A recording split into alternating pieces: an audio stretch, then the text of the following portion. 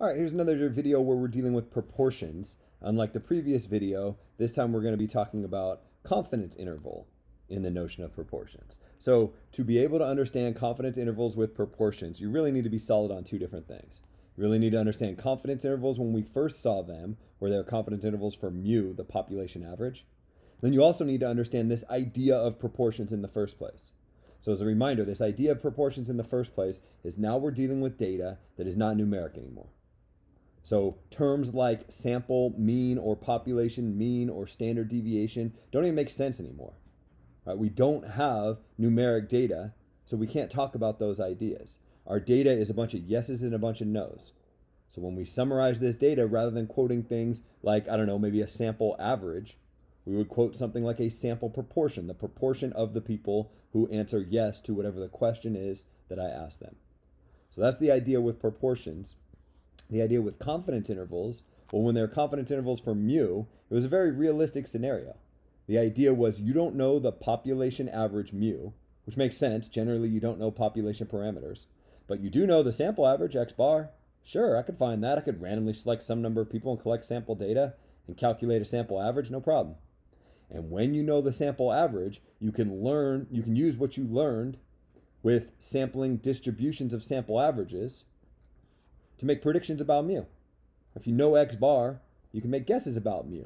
Mu tends to be pretty close to X bar, and we can talk about how close. We said stuff like, because my sample average was 35, I'm 95% sure that my population average is between, I don't know, 34 and 36. Something to that effect. The goal of 4.2 was finding bounds for your population average. What we're going to talk about in this video will be very similar to that, except it won't be confidence intervals for mu because now we're in 4.5, we're dealing with proportions. It's going to be a confidence interval. Maybe I'll be shorthand, confidence interval for P. Why P? Because P is the population proportion. It's the 4.5 version of the thing that we used to call mu. It's the thing that's analogous to mu, the population average, except now it's a population proportion. And how are we going to do that? How are we going to make a confidence interval for P? Well, the way we made them for mu, the way we made a confidence interval for a population average, is based on the sample average. So it makes a lot of sense that here we're going to make our inference about the population proportion based on the sample proportion. We'll be given the sample proportion. I know some of these symbols are still a little new to you, but it'd be nice if you got to the point where you could immediately recognize that that's p hat, that in your head p hat and x bar are tied together. This is the 4.5 version of the thing that we used to call this. We'll be asked about population proportion. And again, symbols, get comfortable with the population proportion being the letter P. And in your head, maybe tie together this P and this mu. So that's big picture what we're doing. Let's actually get into an example and do one together. Um, so I need a 4.5 confidence interval example. So I need some sort of situation where I'm interested in something that would be a yes or no question. So um, I don't know. Do you have a dog? Do uh, maybe I'm interested in the proportion of all New Yorkers that have a dog. Right, but there's a lot of New Yorkers, so I can't go asking all of the New Yorkers do they have a dog. And by the way, I'm not interested in how many dogs. I want to know, oh, I have two, I have one, I have zero, I have three. I don't want that. I want it to be all yeses and nos. Um, but I can't ask everybody because there's too many. So I maybe randomly select I don't know, let's say 500 this time. 500 New Yorkers. And find that, um, probably not too many in New uh, doesn't matter. Find that 16% have a dog.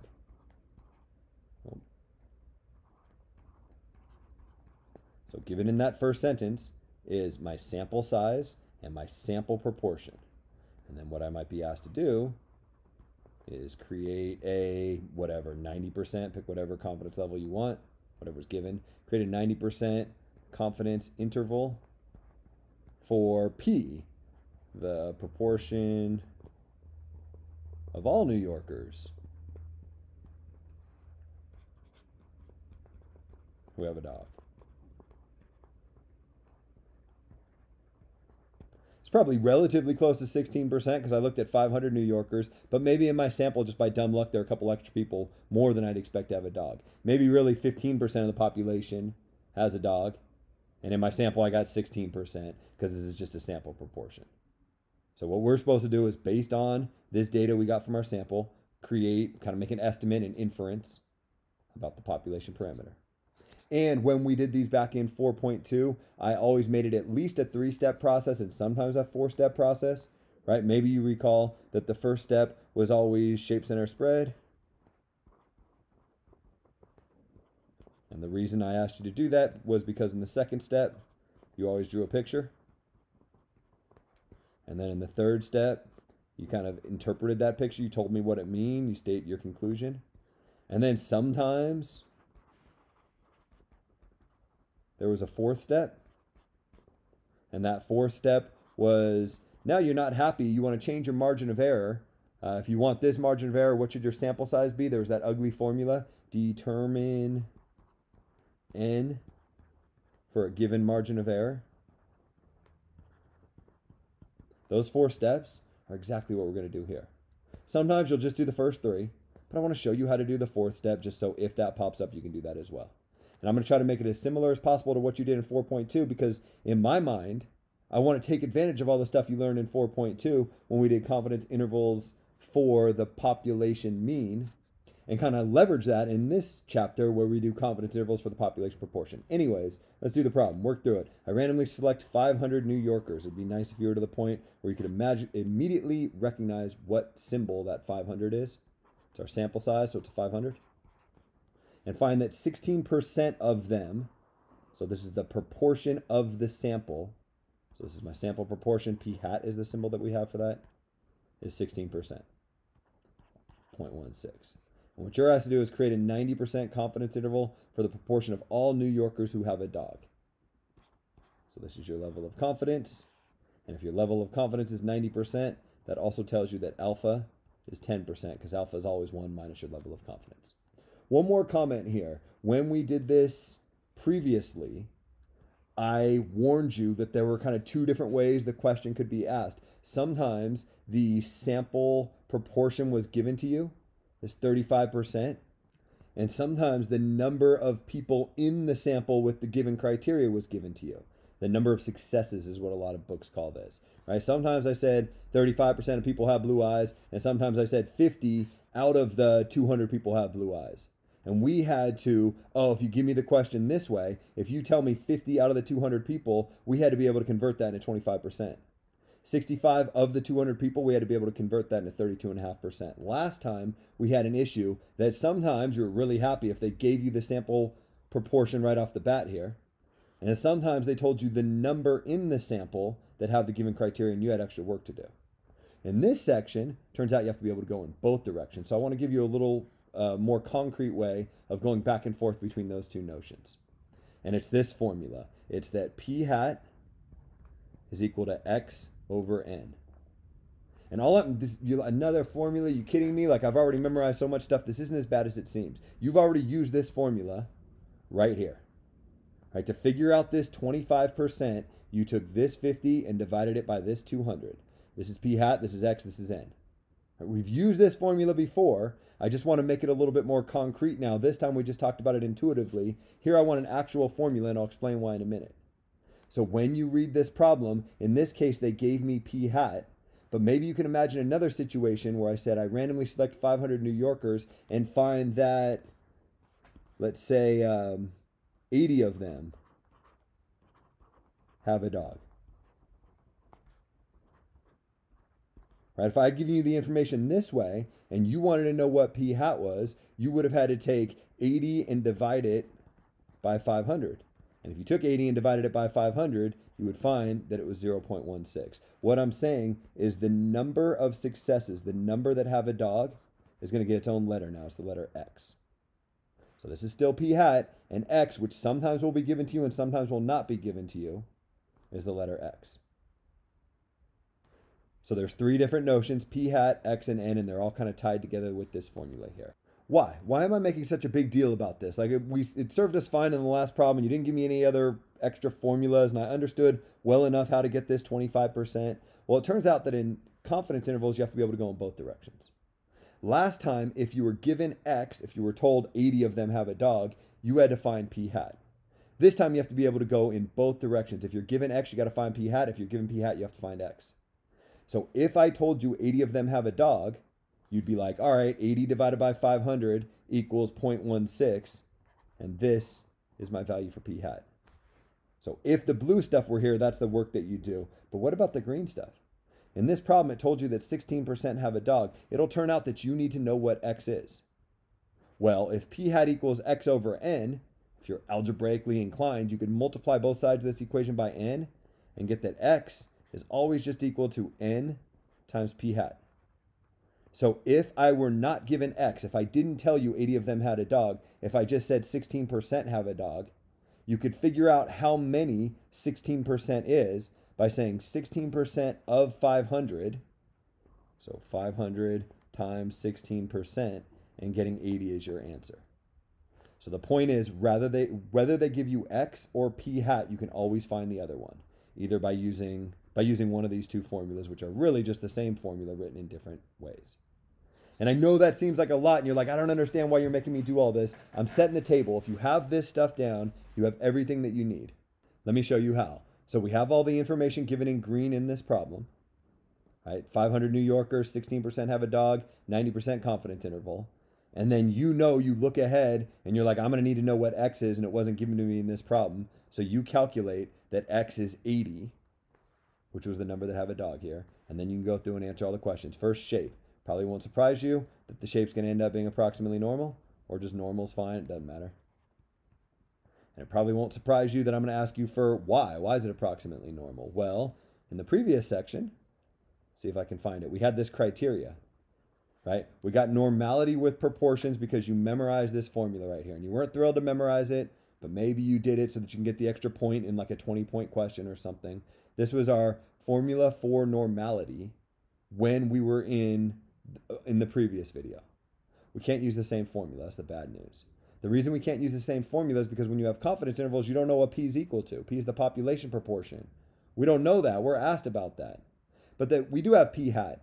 And I think the best case scenario for you would be if this criteria for confidence intervals was the exact same, except you put little hats on the p's. And it is.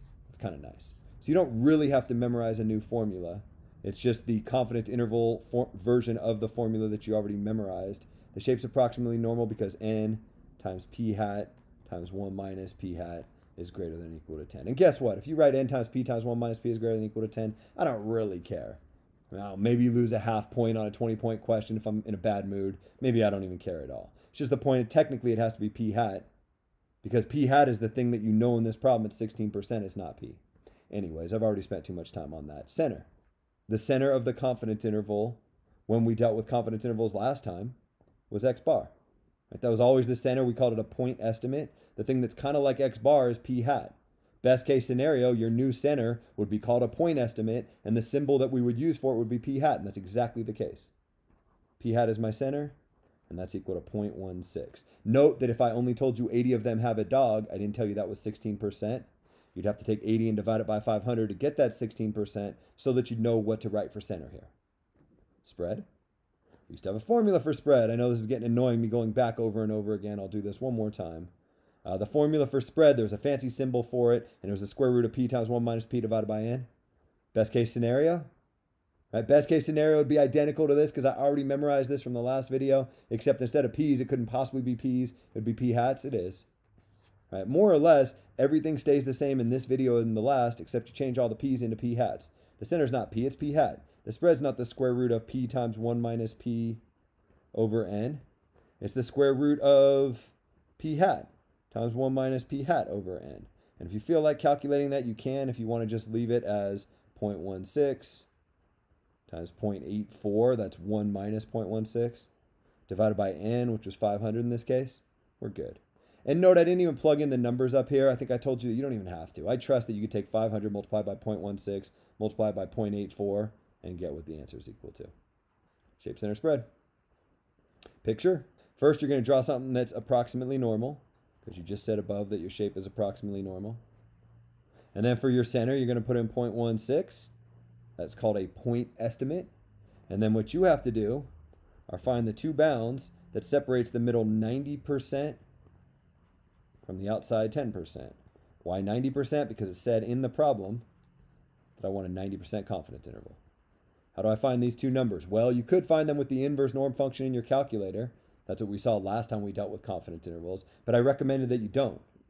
I told you don't do that because your calculator has a built-in function that does it for you. It still does. If you go over to tests here, last time we did confidence intervals, you grabbed this Z interval guide. Don't do that. The reason you don't want to do that is because your calculator recognizes that these proportion questions are common enough that it builds a special function just for this purpose.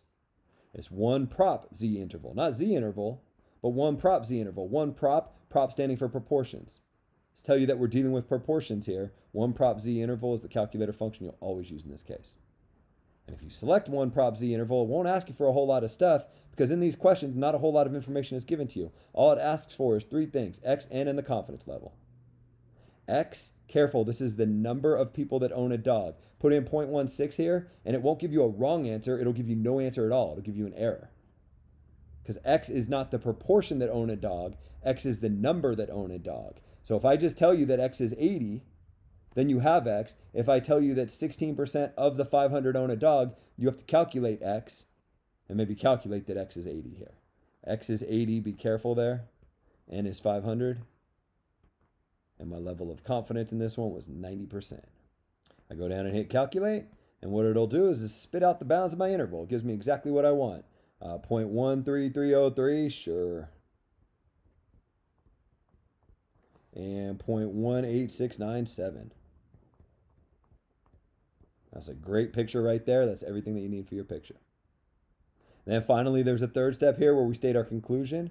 The key thing I want you to get out of the conclusion is that it's the population proportion in this case that we don't know. I don't know my population proportion, but I'm pretty sure, 90% sure, that it's somewhere in between here and here. I am 90% certain or confident or sure or whatever that P or that the population proportion, I guess what I would like you to do is state it in the context of the problem so that the proportion of all New Yorkers who own a dog